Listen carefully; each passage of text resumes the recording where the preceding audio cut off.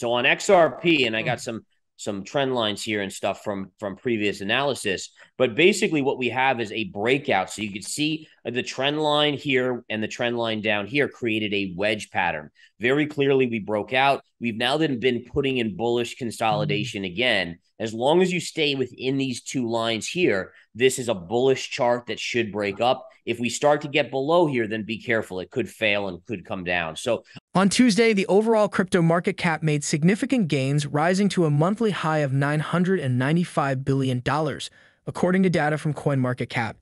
Bitcoin rose by over 7% to $20,700, while Ether gained around 14%, rising to a record high of $1,533, its highest price since September 15.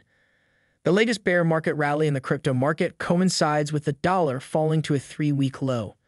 It also aligns with Gareth Soloway's previous prediction that we might get a massive Bitcoin rally to the north of $25,000 before a major downside move that could send the world's largest cryptocurrency to $13,000 or below. The popular technical analyst, who is also the president and chief market strategist of InTheMoneyStocks.com, previously predicted that a slight pivot in the Federal Reserve's hawkish stance could spur a massive rally in the cryptocurrency market before the first quarter of 2023. With the dollar showing signs of weakness, we might be heading into the much needed bear market rally. In a recent interview, Soloway discusses the possibility of a Fed pivot and the impact it could have on Bitcoin and other asset prices. He also gives a price update on some top altcoins, including Cardano and XRP. Before we take you Soloway's important update on these crypto assets, please take a little time to like this video, subscribe, and turn on post notifications if you are yet to do so. Also, ensure you drop your comments and observations in the comments section below. Thanks and enjoy the video. The Fed is really printing money, then you would think that they would. But my guess is the Fed isn't going to go back to printing money. Instead, what they're going to do is they're going to do it very, very slowly because inflation is still elevated, maybe not 8%. But if you're talking like a 4% number or 3% number, the Fed's not going to want to print a ton of money, right? They're not going to go right to quantitative easing because then you're going to see inflation go to 20%.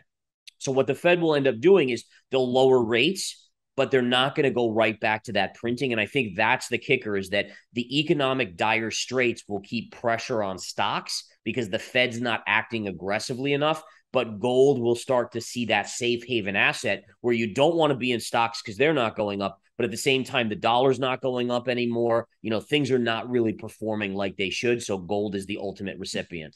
Yeah, so I, I think that is also going to be likely where crypto makes a bottom, right? So if we go to the Bitcoin chart here, and again, this is now looking at a really long view of crypto, but I do think there's still downside to go in crypto. And you can see the bear flag on the monthly chart. So midterm, I still think you have downside to 12, 13,000, maybe sub. But I do think when the Fed really gets in that tight spot and you see rates begin to come down and the Fed pivoting and potentially things getting bad enough in the in the economy both globally and domestically that's where bitcoin could actually put in a bottom and start performing along with gold. And and I really do believe that we're now in a protracted like a long-term sideways chop period. And i think i don't know if we talked about this last time but it's a great in terms of looking at the macro it's it makes a lot of sense. But look at like the brazilian stock market right so if you look at what does this look like, Paul? See this run up from 2002 to 2008? Mm-hmm. Look at that run in the, the, Brazilian stock market and then compare it to what we just looked at on the monthly S&P chart. Look at this yeah. bull run here, right? It's very identical. And then what scares me about the US equity markets and listen, I'm a trader so it doesn't really matter, but you have to look at what has it done since the 2008 high and look at this so you have not made a new high, not even close on the Brazilian stock market since 2008. And now here we are 14 years later. And you could also say the same thing for the Hang Seng market, where, you know, it's another good comparison to what period we could be coming into. This is the monthly Hang Seng chart. So you could see back in 08, 07, you were up here, and all you've done is go sideways with some big dips in there. And I do worry that that's the future. We're looking at a future chart of the S&P 500 here. With the absence of money printing, Soloway is predicting that the U.S. stock market could last for four to five years. This would cause a frantic search for profitable ventures among investors worldwide. It is certain that some of the money that comes out of the equities market will go to Bitcoin and other top cryptocurrencies.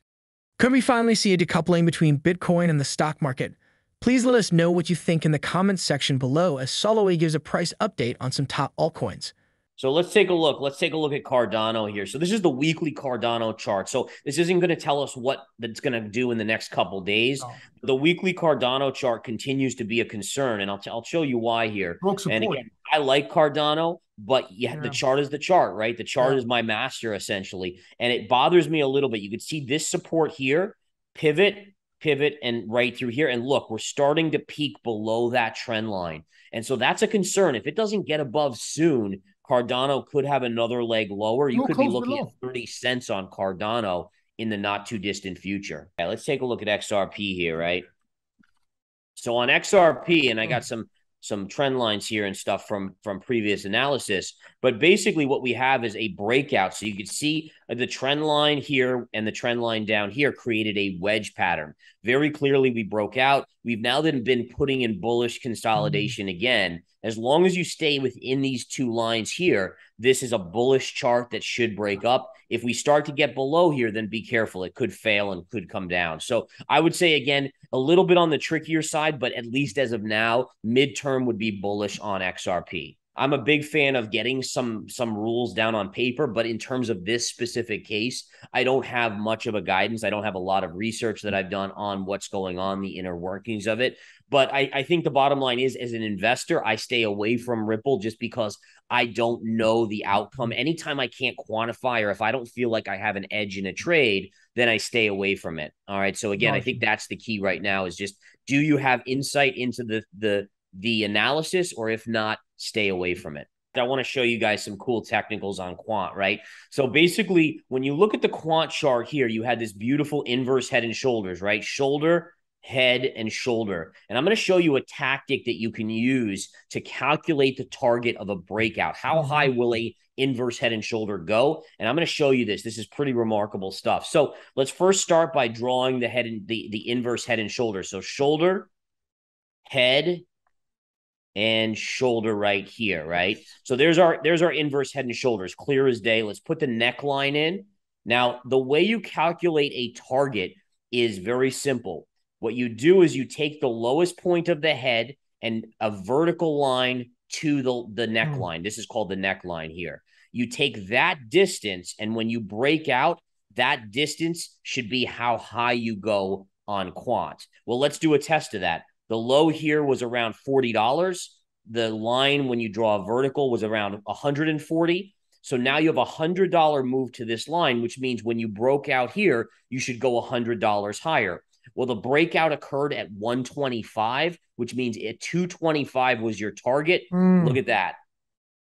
Look at that. Right to the target and look at the pullback. So it's just some cool stuff how we figure this stuff out in technicals. And you can see again, for me, I'm I'm not looking to buy this now because I number one, I wish I saw this before. I would have shorted it there. But on a pullback, where would I be a buyer? I would look for a retrace to that line and then buy that line. If you could get a retrace to that line, high probability, long opportunity on quant. With the latest crypto market rally, we are seeing some pretty impressive moves in the top cryptocurrencies. Ether, Dogecoin, Cardano, and Polkadot are currently leading the pack in gains over the past 24 hours. The top altcoin has over 14% in the past 24 hours and 17% within the past week. The top meme coin has gained over 14% in 24 hours and around 16% over the past week. Cardano comes next after gaining around 13% in the past 24 hours and 13.58% within the past week. Lastly, Polkadot has increased by 10.78% and 7.71 in 24 hours and 7 days, respectively. Do you think the rally will be sustained until the Fed announces the next rate hike in November? Let us know your thoughts on the ongoing rally and Gareth Soloway's interview in the comments section below. Also, be sure you hit the like button, subscribe to the channel, and turn on post notifications for more videos like this. Thanks for watching.